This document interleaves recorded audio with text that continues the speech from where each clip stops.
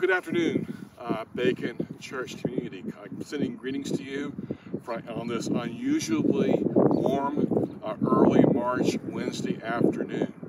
And uh, I remember a year ago when this all began, this week being a, a week we were in scramble mode as we uh, were preparing for our very first ever online service live. And, and, and now a year later, it seems like that's just kind of like the new normal, right?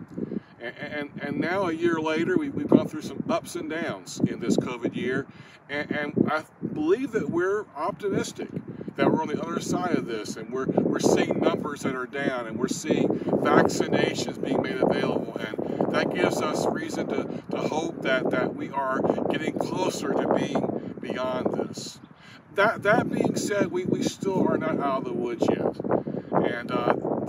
Reality is that many of, uh, of, our church community have not been vaccinated yet, and there are many in our church community who, who only feel safe if we have certain guidelines that are in place. And we want to be able to, to, to that to be our mission to think of others. So we're continuing the guidelines that we have in place even as we start to amp up what we're doing. So just to remind you what those are, uh, as far as masks go, uh, when we're indoors, whether it's for service or for a small group or for an activity, we're wearing masks at all times during the service and during those activities. Uh, we're going to continue to social distance indoors. We're going to set up our chairs in the service such that we're socially distanced and set up chairs for our small groups and activities in the same way. And we also ask, as usual, as we have been, that if you have been exposed to someone who, who has been tested positive for COVID, or if you are showing symptoms, that you not, in the last 72 hours, that you avoid uh, uh, a church activity for the safety of others as far as things that are going on, probably not any earth-shattering updates, but want to make sure you're aware. We are having our Sunday morning service at 9:30 a.m. That's an indoor service.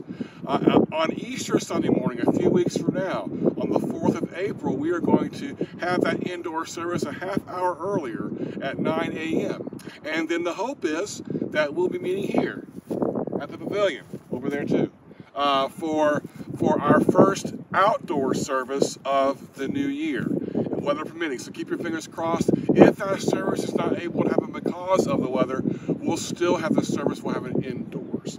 Uh, our kids have been having Sunday school now for several weeks. That's for uh, ages two through fifth grade. Uh, so uh, be aware of that on Sunday mornings during our, our 9.30 service. And then also on Wednesday night, starting tonight, March the 10th, our 12-week Kids Caravan program begins for grades K through 5. That starts at 7 along with our rugged uh, dudes men's group at 7 and then also our teens. For the first time in a while, we'll, we'll be gathering together middle school and high school indoors. They'll be starting a, a tad earlier at 6.45 p.m. So be aware of those things.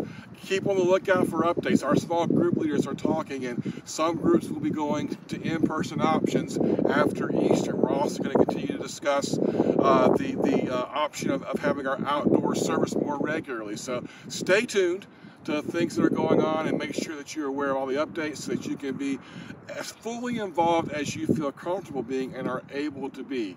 We, we believe that church happens no matter what, but we do value being able to get together in person if we can, finding ways to do it online. We want to be able to do that. During during this Lent season, we're preparing to celebrate at Easter. Let's let's do that together as a church community as we make our way through the, these these at times challenging times and uh, trust in Him and lean on each other. God bless.